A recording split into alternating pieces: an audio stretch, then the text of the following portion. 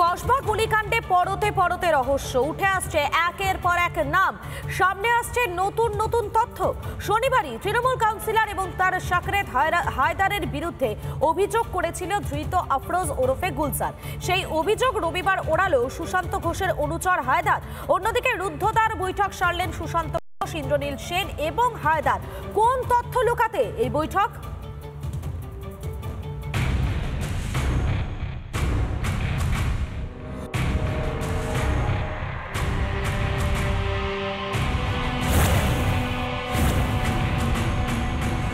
सुशांत घोष गुंडा है जगह दखल किया है तो मारा है 2000 स्क्वायर फीट हैदर अली सुशांत घोष का गुंडा গুলজার মুখ খোলার পরেই নড়ে চড়ে বসেছে পুলিশ हमारा साथी हमारा এক এক করে সামনে আসছে একাধিক তথ্য দফায় দফায় তিন ধৃতকে জেরা করে গুলিকাণ্ডের আসল কারণ জানতে চাইছে পুলিশ তবে গুলজারের মুখে যে হায়দার আলীর নাম শোনা গিয়েছিল, সেই হায়দার আলী গুলজারের সঙ্গে তার সম্পর্ক নেই বলেই জানিয়ে দিয়েছেন। অন্যদিকে এদিন রুবি মোড়ের ওয়ার্ড অফিসে দলীয় মিটিং সরেন সুশান্ত ঘোষ। মন্ত্রী ইন্দ্রনীল সেন এবং হায়দার আলী সহ অন্যান্যরা। চিনি আমার গুলশানে থাকে আসা যাওয়া করি দেখি। বাস বলল নাকি দু হাজার এরিয়া থেকে কোনো একটা গন্ডগোল হয়েছে। যদি দু হাজার এরিয়া যদি কোনো কবজা কোনো কথা থাকে তাহলে এটা কেসটা আমার আমাকে মারতো। বা আমার উপর প্ল্যান করতো। কিন্তু বাইরে থেকে লোক এনে ও সিস্টেম্যাটিক প্ল্যান করে দাদা উপর এখানে এসে কন্ট্যাক্ট করা মানে এটা এটা তো জাস্ট মোরা। পিছনে বড় গেম আছে। এরপরে যে দু হাজার স্কোয়ার ফিট জায়গা নিয়ে অভিযোগ উঠেছিল সেখানে পৌঁছয় রিপাবলিকের ক্যামেরা যে জায়গা নিয়ে গুলজার অভিযোগ তুলেছিল, সেই জায়গা এখনও তালা বন্ধই পড়ে রয়েছে।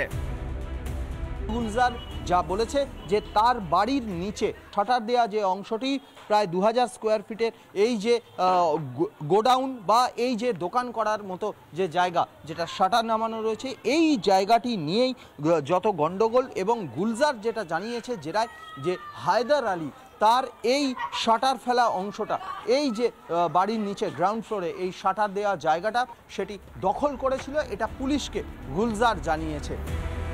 তবে গুলজারের যে ফ্ল্যাট ওই আবাসনে রয়েছে সেখানে কারোর দেখা মেলেনি।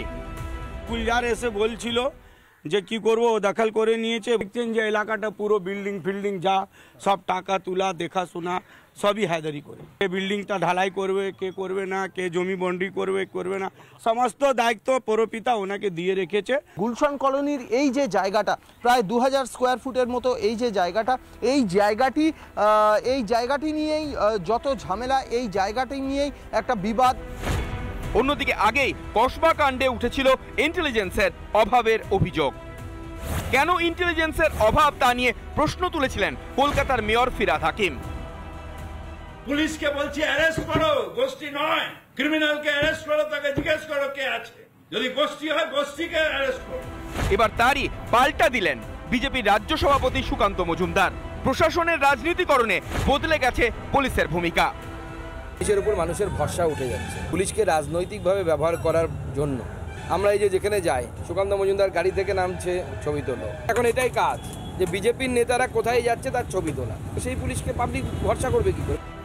এদিকে তদন্তে অগ্রগতি আনতে এবার বিহার যাচ্ছে কলকাতা পুলিশের একটি দল। চলছে ইকবালের খোঁজ। অনুপম পাত্র ঐন্দ্রিলা ঘোষ, সৈকত পালের রিপোর্ট, রিপাবলিক বাংলা। সুশান্তর ওপর গুলি চালানোর চেষ্টায় অভিযুক্ত দুই দুষ্কৃতী বাড়ি ভাড়া নিয়ে থাকছিল শিক্ষামন্ত্রী ব্রাত্য বসুর পাড়ায়। কালিন্দের সেই দুষ্কৃতী ডেরার খোঁজ মিলতেই শোরগোল। আবারও পুলিশের গোয়েন্দা ব্যর্থতা নিয়ে উঠছে সমালোচনার ঝড়।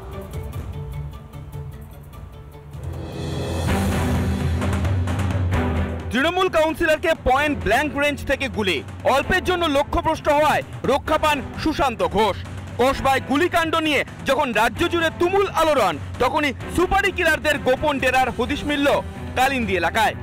এখানেই শেষ নয়, ইকবাল ও আফরোজের। আস্তানার ঢিলছোড়া দূরত্বে শিক্ষামন্ত্রী ব্রাত্য বসুর বাড়ি।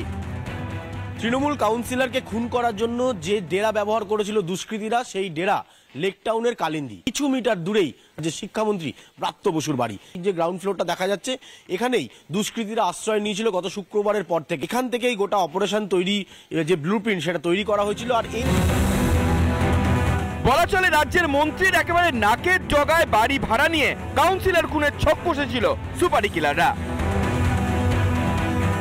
এই যে ফ্ল্যাট আমরা দেখতে পাচ্ছি, এখান থেকে কয়েক পা, আমি আমি হাঁটছি, আপনাদেরকে দেখাচ্ছি। এই যে এই যে রাস্তাটা, এই রাস্তা দিয়ে সোজা কিছু মিটার গেলেই রাজ্যের শিক্ষামন্ত্রী ব্রাত্য বসুর বাড়ি।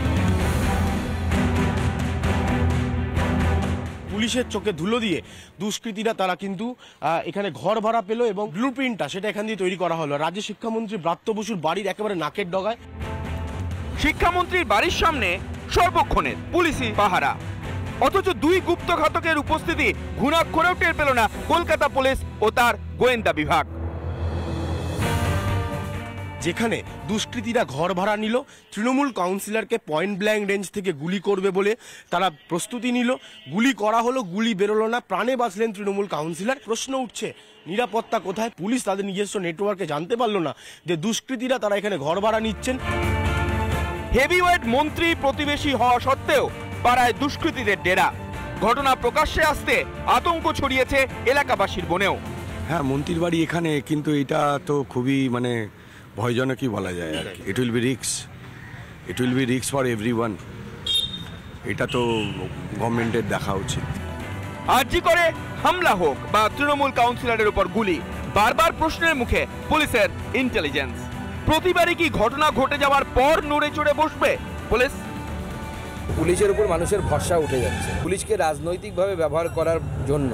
আমরা এই যে যেখানে যাই, সুকান্ত মজুমদার গাড়ি থেকে নামছে ছবি তোলো। এখন এটাই কাজ, যে বিজেপির নেতারা কোথায় যাচ্ছে তার ছবি তোলা। সেই পুলিশকে পাবলিক ভরসা করবে কি? ভাড়া দেওয়ার ক্ষেত্রে কলকাতা পুরসভার নির্দিষ্ট গাইডলাইন রয়েছে। সেসব পালন করা হচ্ছে কিনা, সেটা দেখার দায়িত্ব পুরসভা ও পুলিশ উভয়েরই। তারপরও কীভাবে মন্ত্রীর দুয়ারে আস্তানা গেড়েছিল দুষ্কৃতীরা? কসবার গুলিকাণ্ডে বারবার কাঠ গড়ায় সেই পুলিশের ভূমিকায় রিপাবলিক বাংলা।